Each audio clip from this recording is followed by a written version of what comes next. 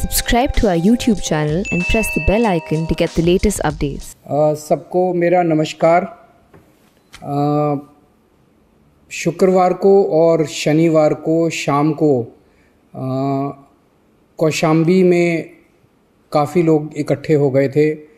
अफवाहें फैल गई थी कि अ, वहाँ पे लोग अगर इकट्ठे होंगे तो बसों का इंतज़ाम किया जा रहा है इत्यादि इत्यादि। और सिचुएशन थोड़ी सी अलार्मिंग हो गई थी। पिछले दो दिन में, यानी कि कल और आज स्थिति काबू में आ गई है।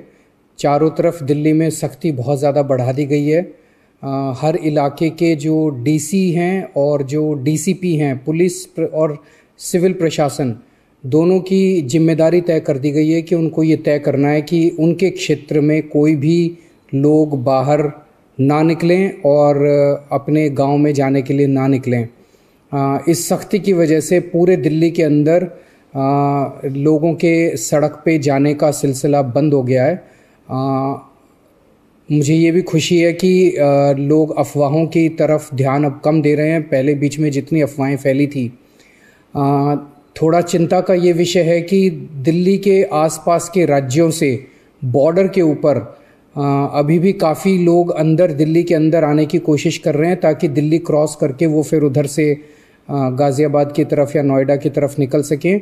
लेकिन वहाँ भी बॉर्डर के ऊपर पुलिस और सिविल प्रशासन मिलके उनको वहाँ पे रोक रहा है और दिल्ली के बॉर्डर पे गश्त बड़ी सख्त कर दी गई है जिसकी वजह से अब ये जो शुक्रवार और शनिवार को समस्या थी वो अब नहीं है। मैं सब लोगों से यही कहना चाहता हूँ कि अभी अफवाहों पे किसी भी तरह से भरोसा ना करें कोई भी अफवाहों पे भरोसा ना करें। आ, दूसरी चीज़ ये कि कुछ राशन वाले अभी अभी दस मिनट पहले मेरे पास फ़ोन आया हमारे जो खाद्य मंत्री हैं उन्होंने बताया कि किस तरह से जनकपुरी पे वो पूरी दिल्ली के अंदर राशन की दुकानों पे जा जा के मुआयना कर रहे हैं। जनकपुरी के अंदर एक राशन वाला है जिसके पास पूरा राशन आया था। लेकिन वो राशन सारा का सारा उसने 24 घंटे में बाहर की बाहर बेच दिया और वो अपनी दुकान बंद करके भाग गया। उसको मैंने अभी अभी होम सेक्रेटरी से बात करके उसकी गिरफ्तारी के आदेश दिए हैं। मैं राशन वालों से सबसे कहना चाहता हूँ, ये मौका है आपको अपनी इंसानियत दिखाने का। ईमानदारी से राशन दीजिए, पुण्य लगेगा। और अगर आपने कुछ भी गड़बड़ की तो फिर ये देख लेना कि जेल में चक्की पीसनी पड़ेगी आपको।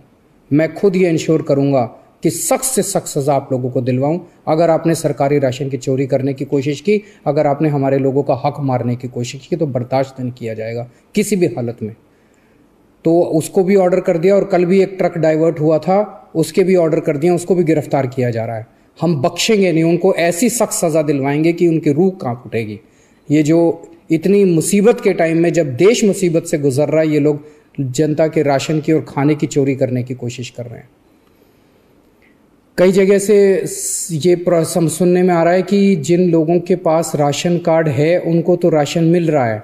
जिनके पास राशन कार्ड नहीं है, वो लोग कह रहे हैं कि हमें भी राशन दिलवाया जाए।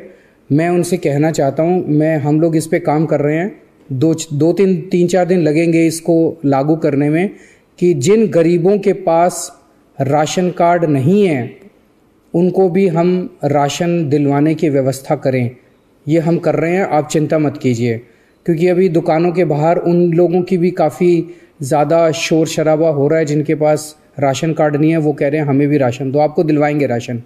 तब तक आप लोग जहाँ जहाँ हमने खाने की व्यवस्था की है, जिन सेंटर पे, आप वहाँ पे खाना खा के अपना गुजारा कर लीजिए। दो दो चार दिन का हमें टाइम दीजिए, आपके लिए हम राशन की व्यवस्था कर रहे हैं। अभी इन दिनों में लॉकडाउन की वजह से सारे स्कूल बंद हैं। हमें काफ़ी चिंता हो रही है अपने बच्चों की शिक्षा को लेके। उसके ऊपर हमारे शिक्षा मंत्री मनीष सिसोदिया जी ने कुछ खाका बनाया है। वो आपके साथ आ, उस पूरे को खाके को शेयर करेंगे।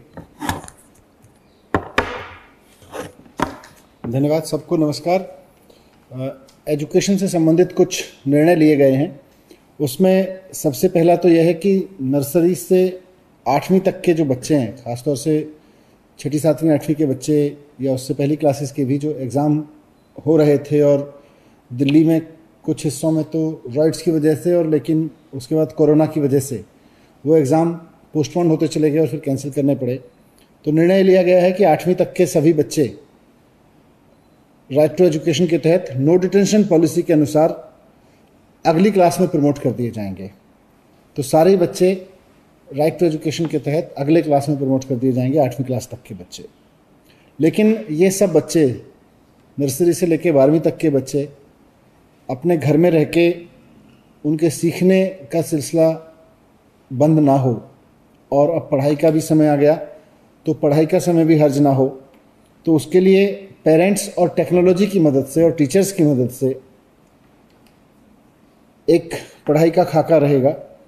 इसके लिए हमने बहुत सारे कंसल्टेंट से डिस्कस किया एजुकेशनिस्ट से डिस्कस किया, बहुत सारे प्राइवेट स्कूल्स के प्रिंसिपल्स टीचर्स के साथ डिस्कशन किया, अपने स्कूल प्रिंसिपल टीचर्स के साथ डिस्कस किया।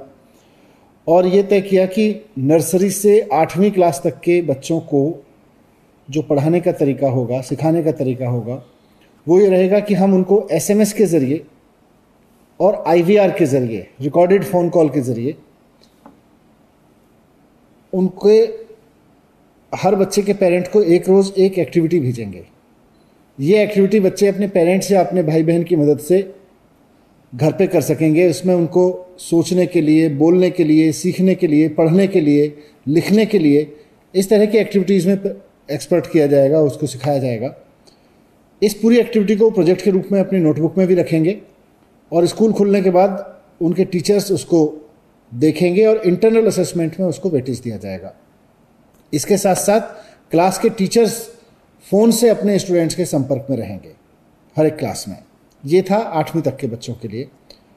इसके बाद मेन जो डिसीज़न है, सबसे ज़्यादा हर्ज जो हो रहा है, वो बारहवीं क्लास के बच्चों का हो रहा है, क्योंकि उनके अगले साल, इस साल अब क्योंकि जो ग्यारहवीं पास करके बारहवीं में आ गए, उनके बोर्ड के एग्ज़ाम हैं। तो बारहवीं में जाने वाले बच्चों के लिए दिल्ली सरकार के टीचर्स के द्वारा क्लासेस शुरू की जाएँगी। ऑनलाइन क्लासेस हर रोज़ दो सब्जेक्ट की क्लासेस होंगी। इसके लिए बच्चों को एक प्लेटफॉर्म इंटरनेट प्लेटफॉर्म पर जाकर रजिस्टर करना होगा। इसका लिंक हम सब बच्चों को एसएमएस के द्वारा भेज देंगे।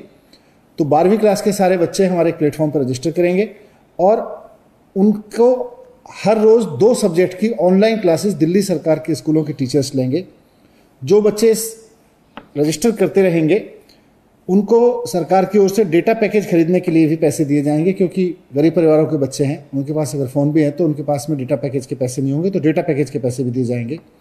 ये सिस्टम अप्रैल के पहले हफ़्ते से बारहवीं क्लास के लिए शुरू हो जाएगा, और उसके कुछ समय बाद दसवीं क्लास के लिए भी शुरू कर दिया जाएगा। पहले इसको बारहवीं क्लास के लिए शुरू करेंगे, और फिर दसवीं के लिए शुरू कर लेंगे।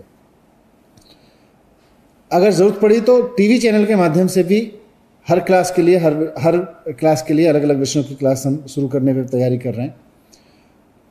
तो ये बारहवीं का हुआ और दसवीं का हुआ। नवीं क्लास के लिए और ग्यारहवीं क्लास के लिए। नवीं क्लास के लिए अभी हम सीबीएसई से योजना बना रहे हैं और उसके बाद आपसे शेयर करेंगे सीबीएसई से बात कर रहे हैं। दसवीं क्लास के लिए ग्यारहवीं क्लास के लिए, दसवीं के रिज़ल्ट आने के बाद, क्योंकि अभी दसवीं का रिज़ल्ट नहीं आया तो ग्यारहवीं क्लास में अभी इफेक्टिवली कोई बच्चा नहीं है। जो भी बच्चे हैं वो पास होके बारहवीं क्लास में चले गए हैं तो बारहवीं क्लास की शुरू हो गई है। आठवीं क्लास तक की शुरू कर दी है। नवीं के लिए हम सी से बात कर रहे हैं और ग्यारहवीं क्लास के लिए अभी रिज़ल्ट का वेट करेंगे। वैसे उम्मीद करते हैं और ईश्वर सब बच्चों को स्वस्थ रखे, सब टीचर्स को स्वस्थ रखे, तब तक कोरोना और लॉकडाउन सब खत्म हो जाएँगे तो रेगुलर क्लासेस होंगे। तो आप सब लोग अपने अपने घर में रहिएगा, घर से बाहर बिल्कुल मत निकलिएगा, अफवाहों पे बिल्कुल मत यकीन रखिएगा। अपना और अपने परिवार का पूरा ख्याल रखिएगा। इस वक्त सबसे बड़ी देशभक्ति एक ही है। अपने घर में रहो। घर से बाहर मत निकलो। बहुत बहुत शुक्रिया।